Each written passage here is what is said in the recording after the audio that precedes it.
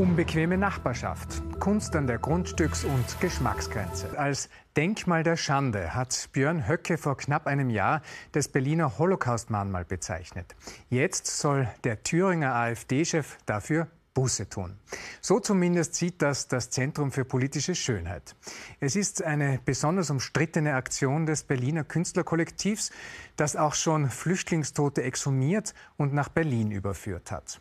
Begonnen hat alles ganz unscheinbar am 8. Mai 2009, als Zentrumsleiter Philipp Ruch seine Thesen zu Kunst und Politik an den Deutschen Bundestag geschlagen hat. Ziel sei es, ich zitiere, die höchste Form aller Künste ins Werk zu setzen, gute und schöne Politik. Acht Jahre später steht jetzt in Björn Höckes Vorgarten das Berliner Holocaust-Mahnmal Lothar Schüler. Im Zentrum der Hauptstadt Berlin das Denkmal für die ermordeten Juden Europas.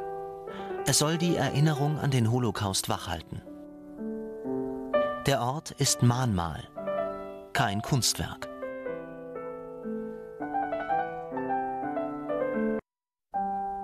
Im Zentrum des ländlichen Ortes Bornhagen im thüringischen Eichsfeld das nachgebaute Mahnmal von Aktivisten des Zentrums für politische Schönheit eine Kunstaktion als Mahnung an das hier wohnende AfD-Mitglied Björn Höcke. Doch ist das wirklich Kunst? Naja, es ist so eine Kunst eigentlich auf Bildzeitungsniveau. Hauptsache, die Schlagzeilen sind möglichst fett. Hauptsache, die Emotionen kochen hoch. Am Ende sind die Höcke-Anhänger bestätigt in ihrer Auffassung, dass ohnehin das sogenannte linksversüffte System äh, nichts anderes plant, als die Leute zu unterwerfen und zu zwingen unter ihre Wertvorstellungen. Und umgekehrt, die ZPS-Leute haben sich auch wieder darin bestätigt, dass die AfD-Leute und die Anhänger eben auch nur verbohrte Fanatiker sind und denen eigentlich nicht zu helfen ist.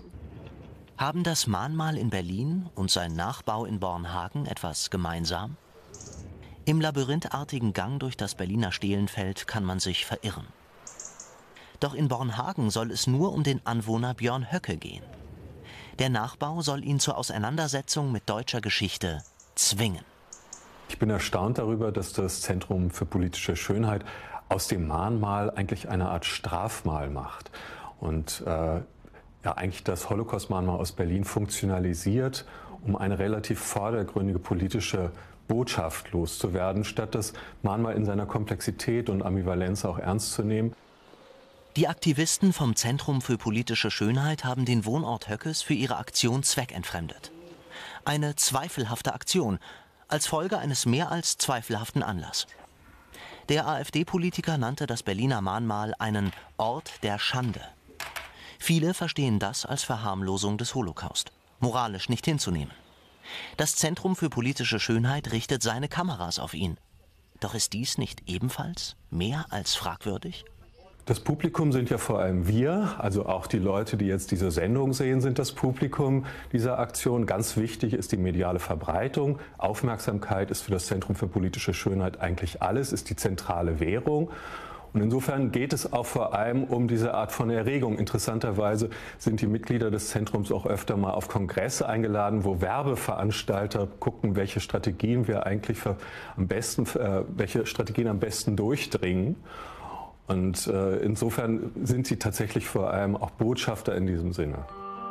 Dem Zentrum für politische Schönheit wurde der Mietvertrag gekündigt.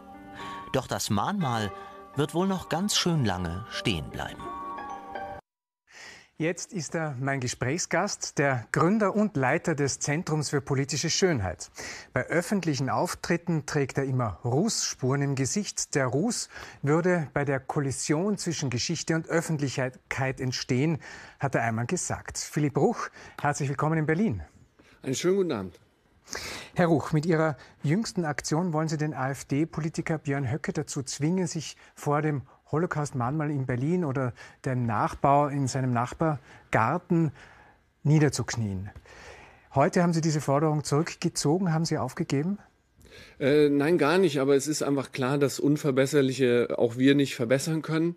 Und äh, er hat unser Wochenende als terroristische Vereinigung bezeichnet und als Terroristen.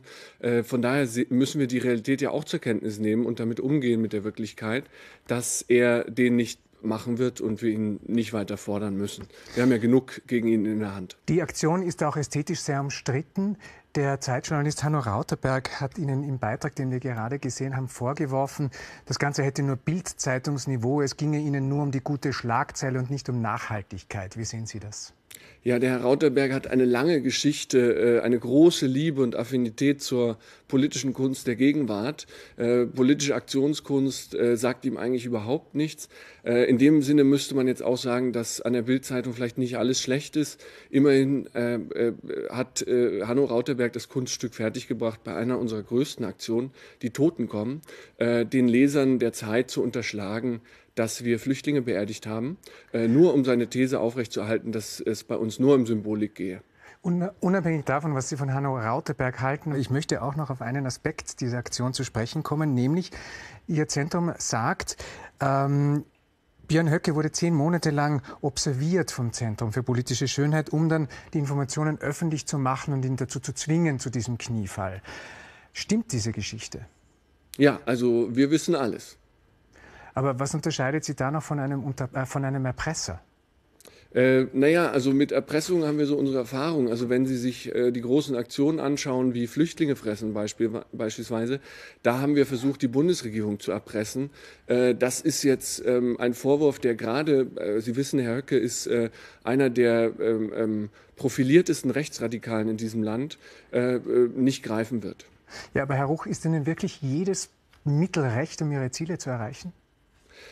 Na, was heißt jedes Mittel recht? Also äh, Sie wissen, ähm, dass er im Januar diese Dresdner Rede gehalten hat, wo er wirklich auch für uns in unserer Warte eine rote Linie überschritten hat.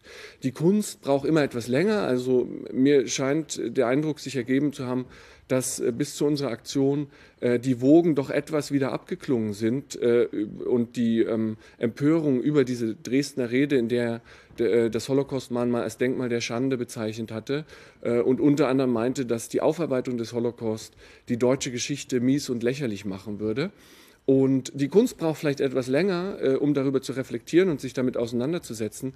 In unseren Augen ist es aber so, dass äh, das nicht zu akzeptieren ist und dass wir das auch nicht auf sich beruhen lassen können. Also wenn wir das auf sich beruhen lassen, diese Rede, diese wirklich äh, äh, ja ähm, Rede, die auch in, im geschichtlichen Kontext ein, an äh, einiges erinnert äh, aus den 30er Jahren, dann können wir eigentlich alles auf sich beruhen lassen. Und wir wissen ja schon durch Gauland, der selber den Satz geprägt hat, dass man doch stolz sein soll auf die Leistungen deutscher Soldaten in den zwei Weltkriegen. Herr Russ, Sie haben ja recht, dass diese Rede jetzt wieder im Zentrum steht. Gleichzeitig haben Sie es ermöglicht, Herrn Höcke sich als Opfer, Opfer darzustellen, als jemand, der verfolgt wird und beobachtet wird und dessen Grundrechte vielleicht missachtet werden. Ist das noch politische Schönheit, nach der Sie trachten? Also wir äh, haben äh, mit Sicherheit nicht äh, Herrn Höcke die Rolle zugewiesen, ähm, sich als Opfer zu inszenieren. Das macht er immer noch selber. Aber Sie haben es äh, ihm ermöglicht. Äh, naja, also sagen wir mal so, was ist, was ist denn die Möglichkeit, wenn man sich äh, künstlerisch mit äh, Aktionskunst auseinandersetzen will mit dem rechtsradikalen ähm, Höcke? Was kann man dann tun? Und das impliziert manchmal in unseren Augen etwas, dass man das doch einfach lassen soll. Ja, man hilft ihnen eh, man macht sie stärker. In unseren Augen ist es umgekehrt. Also es ist nicht so, dass ähm, diese Aktion äh, Höcke stärker macht, sondern es ist eigentlich so, dass sie die Zivilgesellschaft stärker gemacht hat, genau genommen. Ähm, es sind tausende Menschen, die dieses Mahnmal jetzt finanziert haben und äh, die damit auch durchaus ihren Willen bekunden, dass es da zu stehen hat.